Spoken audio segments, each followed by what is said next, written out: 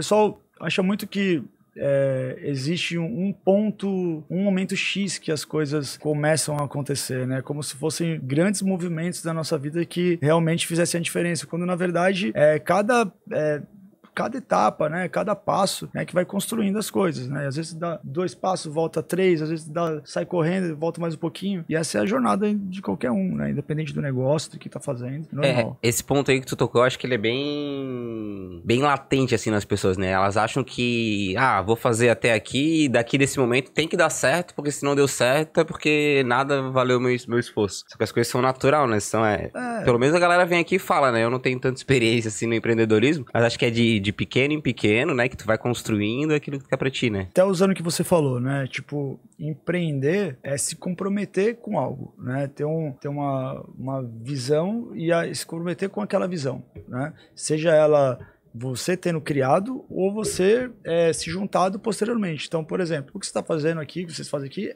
é, você estava me falando antes, pô, tô, estamos há dois anos aqui fazendo. Então, pô, isso é empreender, né? Então, empreender não é ter um CNPJ, né? É, é, criar um negócio do nada, não, pelo contrário. Né? Empreender é aquela resiliência de fazer a coisa acontecer. Então, e aí é que hoje é, a internet e tal, tipo até meio clichê falar, mas, mas é a real, né? Uh, as pessoas acham que, principalmente a molecada, acha que tudo e não é essa a verdade da esmagadora maioria. Às vezes nem acontece, entendeu? Às vezes nem acontece. Então, isso cria uma frustração à, à toa, né? Que não deveria existir, porque principalmente quando você é mais novo, quando você está começando, é, é aí que você deve tentar fazer um monte de coisa e é aí que você deve arriscar. E, e mesmo depois também, cara, tipo, porque no final, o, independente do que você for fazer, né, se você está fazendo realmente gostando, né, estando presente ali, né, dando o seu melhor, você naturalmente você mesmo que fracasse entre aspas, você não vai ter um arrependimento, você não vai ter frustração, porque você deu o seu melhor, era tudo o que você poderia fazer. Não deixar com que essas pequenas derrotas é, façam é, mais sentido do que o caminho em si, né? Porque o, o fracasso, com frequência, ele vicia. O sucesso também.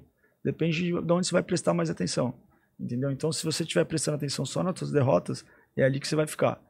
É, pelo menos, não adianta o que você fizer de bom, você vai focar só no que você se fudeu. Tá ligado? Agora, se você prestar atenção no que você foi crescendo, no que você foi conquistando, é ali que tua mente vai ficar e as coisas vão acontecer. Não é porque vai vir iluminar a, a, a, as, as tuas ideias e tudo mais, mas é porque você vai estar atento, você vai estar motivado.